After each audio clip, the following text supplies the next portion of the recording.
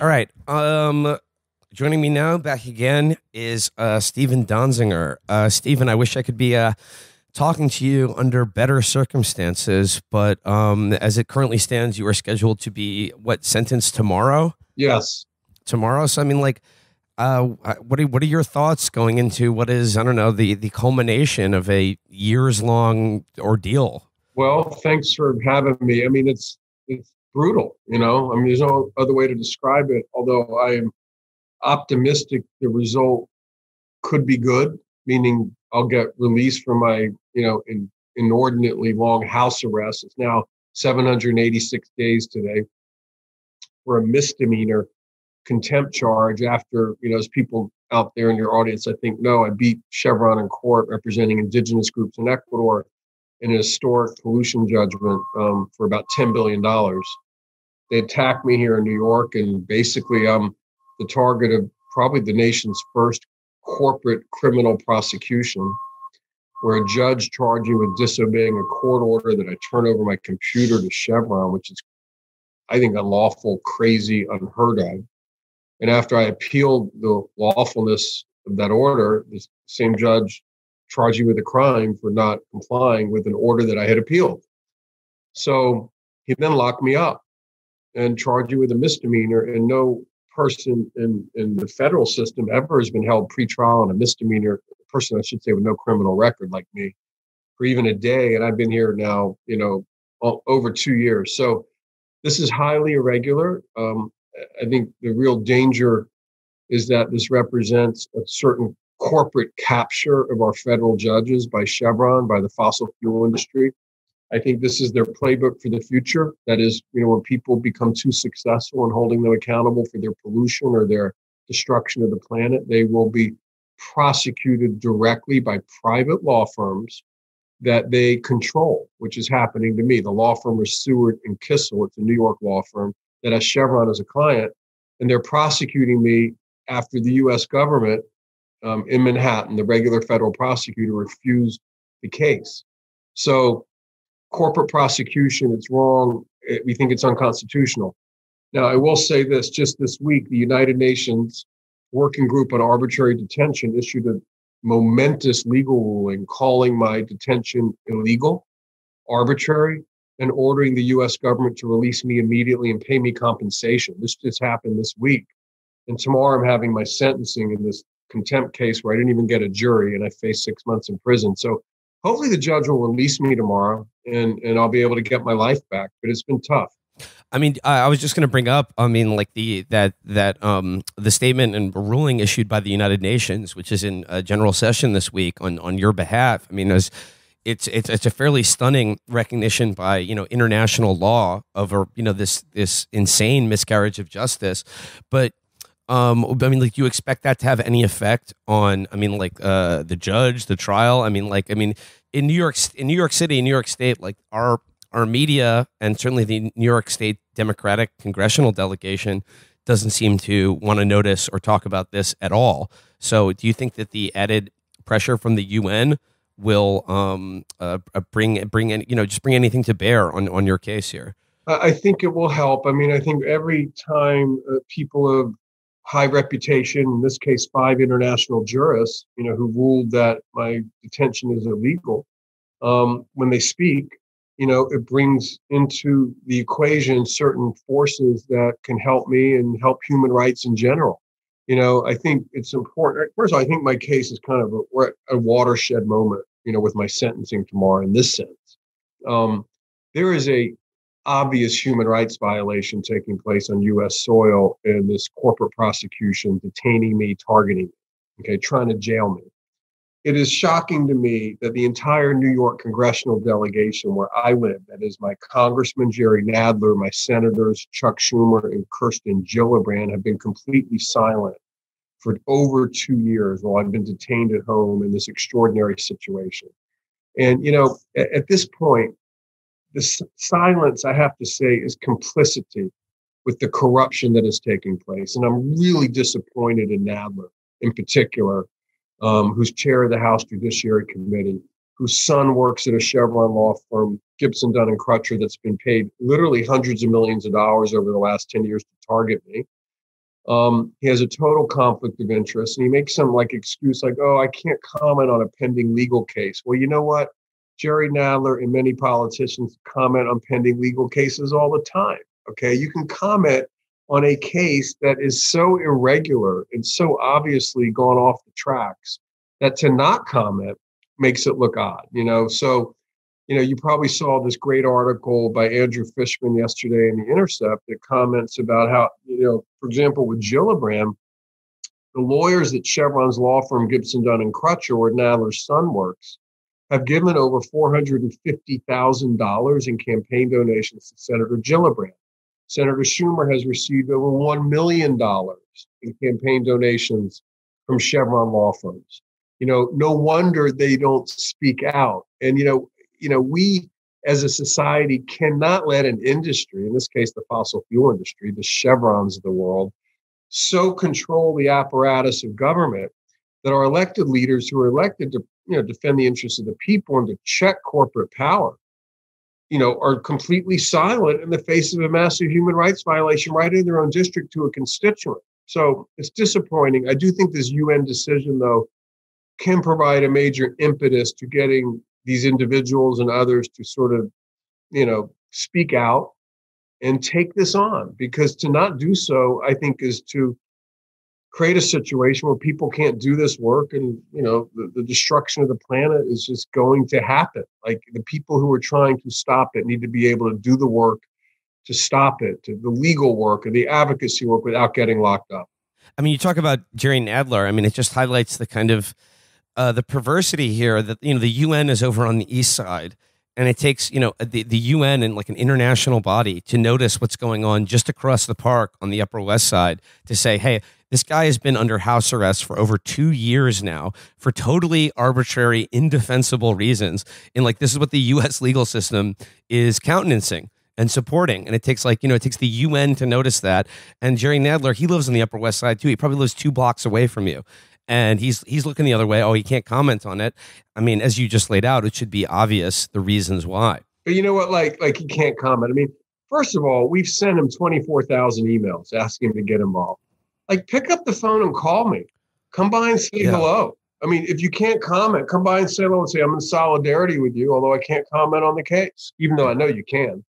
You know, it's just, it's cowardice. You cannot continue to turn, as an elected leader, turn a blind eye to this human rights violation on New York soil. But, you know, there's a real failure of institutions in our country. I mean, the New York Times, for example, has completely ignored the story. They're a 30 minute walk from my apartment where I've been locked up for two years. And by the way, you know, I went to Harvard Law School. Not that that means anything other than the fact, you know, those are the types of people the New York Times usually covers, right? Yeah. I mean, Barack Obama was in my law school class, as was Neil Gorsuch. So, isn't it kind of interesting that a classmate of a law school classmate of Obama is locked up for two years in his home in Manhattan on a misdemeanor? Like, where is the New York Times? I mean, you could actually think I'm a bad guy and still find this story newsworthy. But you know, we know that Chevron's a major advertiser. We know that Gibson Dunn and Crutcher, which is the Chevron law firm attacking me, also works for the New York Times on media issues. I mean, the, the paper is conflicted, and it's lost its muscle. It's lost a lot of its integrity. You know, and and I just find that extraordinary. And by the way, the reason the fossil fuel industry is consolidating so much power is because these institutions are failing. I mean, Nadler, Schumer, Gillibrand, no courage. Speak out. Stop turning a blind eye. New York Times, send a reporter to walk 30 minutes to my apartment and interview me and tell this story. CNN, where are you? MSNBC. You know, you act like you're this big liberal network. In the meantime, you take major oil money and you haven't covered this story. You know, Rachel Maddow wrote a book on the oil industry. Where is she? You know, Chris Hayes. I mean, come on. So there's a complete silencing going on of a major story in America by the big media. I will say though that independent media like you and others like Chris Hedges and you know James North of the Nation and you know several individuals have done Krystal Ball have done great reporting on this case, but the big media has completely ignored it. So you know when your when your case went to trial, I mean you you were you and your lawyers, uh, Martin Garbus and Ron Kuby, you were expecting this outcome. You were expecting to be, um, you know, convicted of this misdemeanor charge that's now kept you incarcerated for over two years.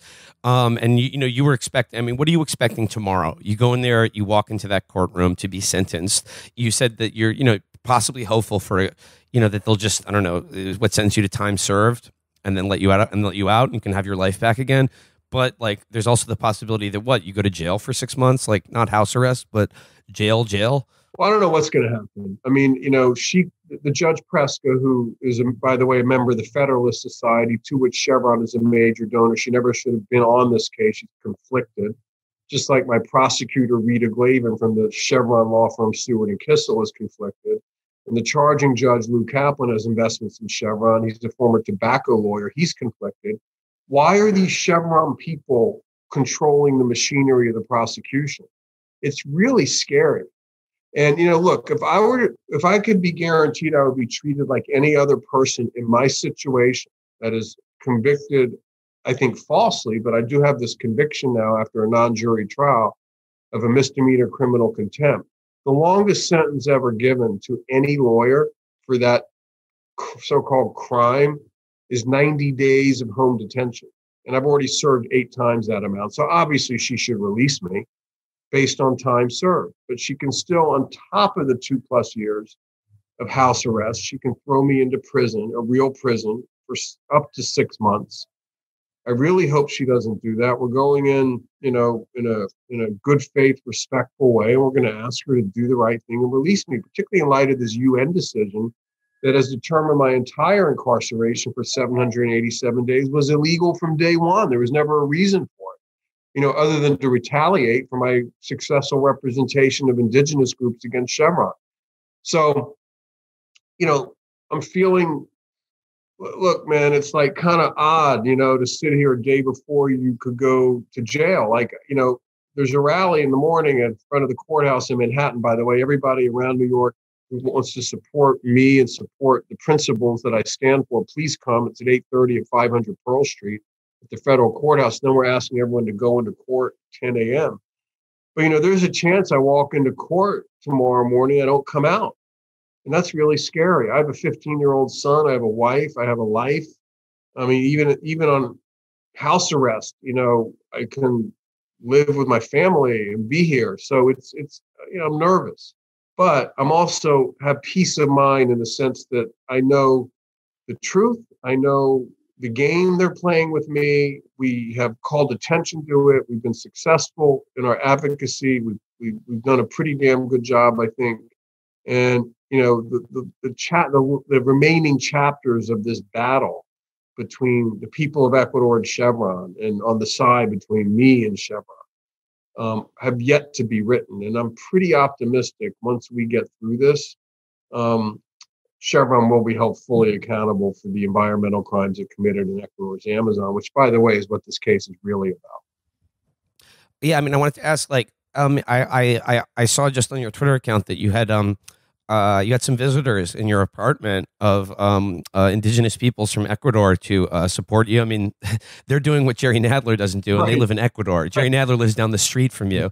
Um, could you just talk a little bit about like uh, your clients, um, like the the people of Ecuador, the victims of this like you know environmental uh, genocide being done by yeah. Uh, Chevron? Yeah. Well, well, thank you for asking. I mean, just so people know, like this area of Ecuador historically is home to five indigenous nations, each with their own language, culture, territory, um, and it's the northern part of Ecuador's Amazon, just south of the Colombia border. There's also other communities that are not indigenous that moved into the region, farming communities, and all of them together have been impacted severely by the fact Chevron deliberately chose to dump billions of gallons of cancer causing waste onto these ancestral lands, including leaving about a thousand open air online toxic waste pits where they had oil waste in them with pipes flowing the waste into rivers and streams that local people relied on for their drinking water. I mean, this is a horrendous humanitarian and public health crisis.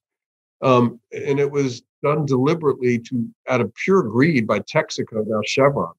Um, so the people I represent um, are wonderful people. They're peace loving people. they were very wealthy until Texaco showed up and started poisoning their land. I mean, they didn't have money as we know it, but they had a great life. They had food, clean water, clean air, um, you know, materials to build their homes. They had the ability to get medicines out of the forest. I mean, the word cancer wasn't even in the vocabulary because there was no exposure to toxic chemicals that cause cancer that you see in industrialized societies like like the United States. So, you know, Texaco came in and, and ruined, you know, in a few short years, ruined millennia of prosperous existence.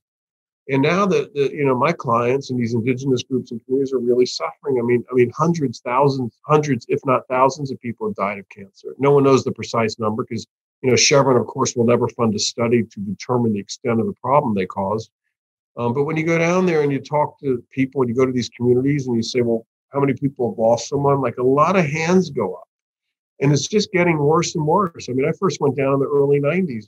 Like, you know, now it's it's just it's just unbelievable to start a lawsuit in year one and year 28. There's probably a few thousand of your clients are dead because the defendant, in this case Chevron, has obstructed the process and prevented a resolution. And once they lost, they decided not to pay the judgment, which created a whole other second wave of litigation. So um, my clients are hurting, but I will say, as an American, North American guy, it's been the honor of a lifetime to have their confidence such that they allow me to represent them. I mean, extraordinary people.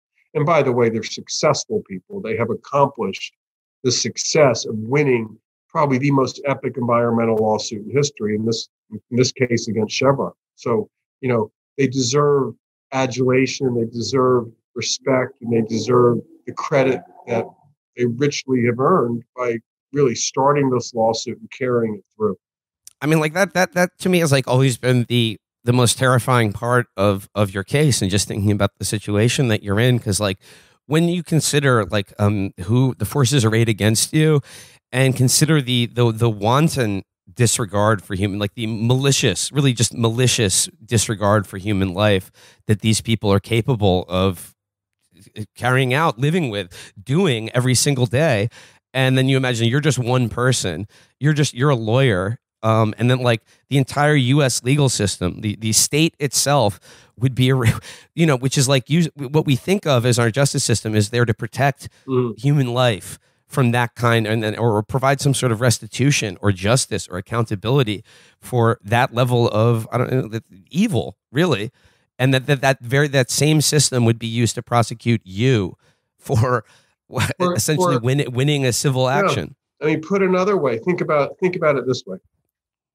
Chevron committed environmental crimes in Ecuador deliberately out of pure greed. They dumped 16 billion gallons of toxic cancer-causing oil waste onto indigenous ancestral lands, and that's not in dispute. Okay, they admit that. They claim they're not responsible because they left, but they admit they did that. The people who made that decision have lived lives where they made tons of money They've never been charged with a crime. They've never been sued personally, and they have essentially obtained impunity. I'm the human rights lawyer who lives in a two bedroom apartment, can barely make ends meet in Manhattan, held them accountable with my clients, and I'm the one facing prison. I mean, think about that for a second. Because they concocted this little criminal contempt charge as a way to disable my advocacy.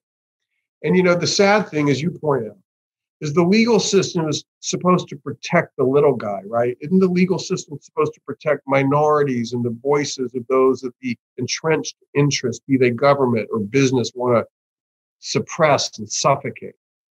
But instead, in this case, and in many others, but this case in such an obvious way, they have transformed and weaponized the legal system, the system designed to protect free speech and protect individual rights into a weapon to silence free speech and suppress individual rights. And that's the saddest part about this. You see this, yes, in other countries a lot Saudi Arabia, Russia, China, to name three, Hungary. No one ever expects to see it in the United States, but we're seeing it in my case in a huge way. And we're also seeing it, that this trend, this, this terrible trend that we're seeing in a lot of countries around the world is now happening in this country to a lot of different people.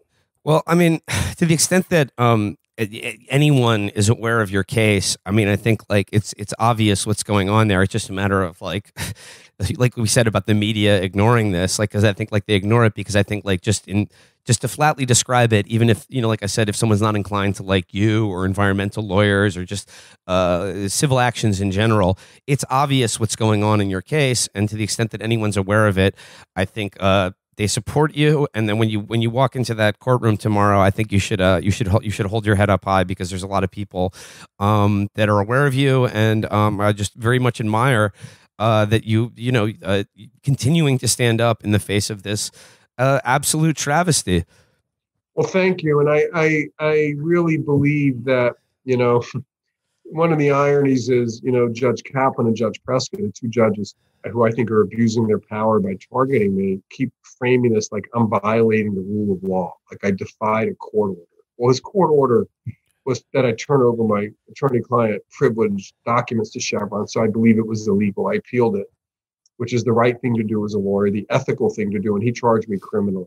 So, like, I really want to pose the question, as my lawyers Kuby and Garbus have done. They've done a great job. Who's really violating the rule of law here? Who's showing respect for the rule of law? It's me. You know, I'm complying with the law by appealing an unlawful order, and they are going completely outside the law by abusing their power to charge me with criminal contempt of court for doing my job as a lawyer in a way that's never happened before in the history of this country, by the way. I'm, aside from all the other irregularities, I'm the only lawyer who's ever been charged with criminal contempt of court for appealing a civil discovery order. That's technical, but I was in a civil litigation against Chevron. The discovery order was that I turned my computer over to them. I appealed it, and he charged me with a crime for appealing his own order. That's never happened before my case, which is why, by the way, the United Nations just determined this is not a legitimate case, that they're, quote, appalled by what is happening, and determined that I am subject to judicial and corporate retaliation for winning the pollution judgment against Chevron. How else do you explain this treatment? You know, why I am being treated so harshly compared to every other person charged with the same offense. The only and, explanation is Chevron is prosecuting me Chevron's angry at me, and Chevron wants to retaliate so they don't have to pay the people they poisoned in Ecuador, and so they can, you know, try to intimidate anyone who might get the dangerous idea of actually going into this field and doing this work. I mean, yeah, like that to me is what uh, you know, like the the the thought I've had about your case since I first realized it is that like you know you are you were the forefront, you were the test case for um, corporate prosecutions of of, Amer- of American citizens. And you know, corporate prosecutions is not a very long distance away from pure fascism, isn't it? I mean, yeah, no, like yeah, it's the pure, it's the pure know, merging of of the corporate. The, the, the, corporate corporate entity with the state yeah, itself. Exactly. And yeah, we're seeing that more and more, by the way. I just want to point out one thing real quick. At the Line 3 protests in Minnesota, you have Enbridge, the pipeline company, paying millions of dollars to the public police to finance their um, their control and suppression of legitimate protest activity by indigenous peoples protecting their land. You know, so here we have again a corporation in, at line three funding and taking over the public function of government. You know, the police. In my case, you have Chevron funding and taking over a, a what is normally a, a governmental public function, a, a criminal prosecution. And we're seeing this more and more in our society where corporations are literally financing functions that normally are reserved for the public, for the state, as a way to control the state and turn it against those who challenge the corporation. Well, I mean, I, I think that I think that sums it up. I mean, the UN is aware of this. Uh, increasingly, more and more people, uh, you know, in in America and the world over, are aware of this travesty. So uh, just like you know, it, based on everything we've just been talking about, I'm saying like you know, if people listen to this interview, or if they've are aware of you before, uh, you are being sentenced tomorrow. There will be a demonstration in, at the courthouse tomorrow. Uh, when is that? And just if you know, if, if, anyone's not in Manhattan or still would like to to do something to support, to send an sure. email, write a letter, uh, what can they do? Okay, so a couple of things. One is we have a website called freedonziger.com, D O N Z I G E R. You can help us by donating to the legal defense fund. Or if you can't do that, just sign up for the campaign, join our movement, join our campaign. You'll get regular communications about what we're doing about various activities. if you're in the New York area, come to court tomorrow if you can. There's a rally at 8:30. Roger Waters, founder of Pink Floyd, will be there among several other you know people who've been working on this for a long time, including myself, my lawyers, Kuby, Ron Kuby, and Marty Garbus. Um, and then come into court, and it's only going to be 30 minutes, 60 minutes max, and, and bear witness to what the judge is going to do. And then the final thing is if you can't come, you can actually dial in and listen to the court proceeding tomorrow, which starts at 10 a.m. Eastern Time. And the number is on my Twitter at S Donziger. There's a big graph. I don't have the numbers handy. Where's my Where's my phone? Anyway, I don't have the numbers handy, but if you go to my Twitter at S Donziger, uh, give, um, give me the numbers. Uh, and I'll mention the numbers real quick to dial in. If you're in the US, dial 877 266 8189. 877 266 8189. And then there's a code to get into the court, which is 734 2786. The code again is 734 2786. So if you use those numbers, and if you didn't write that down, just go to my Twitter feed and get it. Um, dial into the court tomorrow at 10 a.m. Eastern and bear witness. I think it's really important that the judge know a lot of people dialed in. I, I think it would go a long way to helping protect me and hopefully, you know, making sure that I'm released or at least not put in jail. Steven Donziger, um, all I gotta say is uh, stay strong. I'm thinking of you. I'm I'm very much hoping for an end to this insane ordeal that you've gone through. But um, if, if not, you know, I, I like people will continue to pay attention to this case. Thank you so much, Will, for for the attention and allowing me to share my story. And uh, we'll certainly be in touch. And you know, wishing you the best as you wish me the best for tomorrow. Steven Donziger, thank you so much. Thank you.